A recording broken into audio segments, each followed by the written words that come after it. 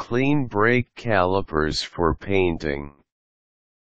So, you want to clean your brake calipers before you paint them? Well, here are some tips. Read on, secure your car. Park it properly.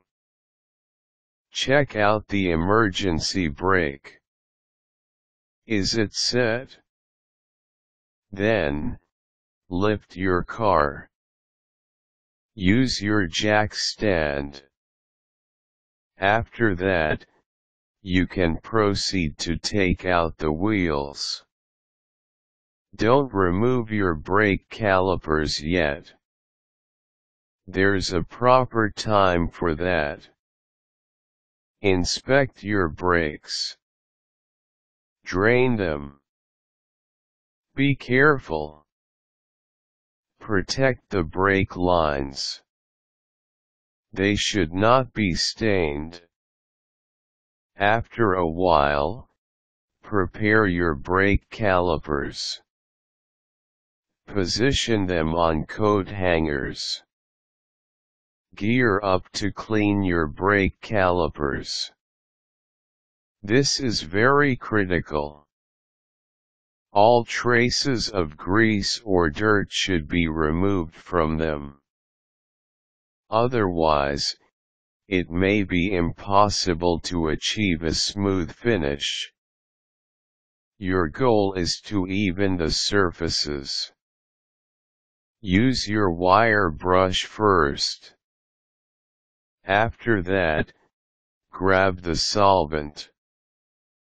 Remember that it is going to be trouble if you operate the power drill right after trying the solvent.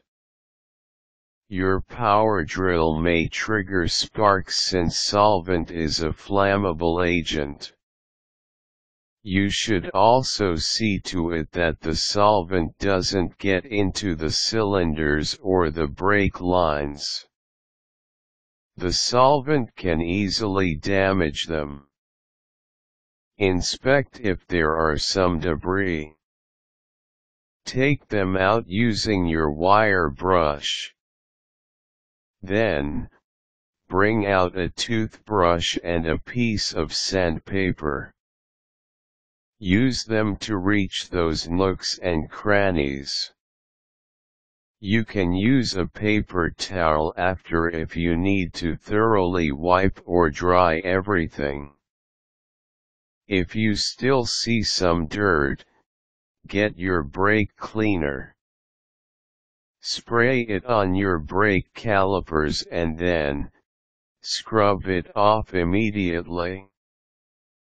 If there are still some grease residues, wash them off with a grease removing soap. It is an entirely easier job if your brake calipers are already painted. That is going to make your cleaning job a breeze. Simply scrub off the original paint with an abrasive pad. Wait until your brake calipers become dull. Then, get your brake cleaner. Spray it on your brake calipers. Bring out your drop cloth. Use it to protect your workspace and to cover the parts of your car. Make sure to tape it well. This is a strict requirement especially if you are going to rely on a spray paint.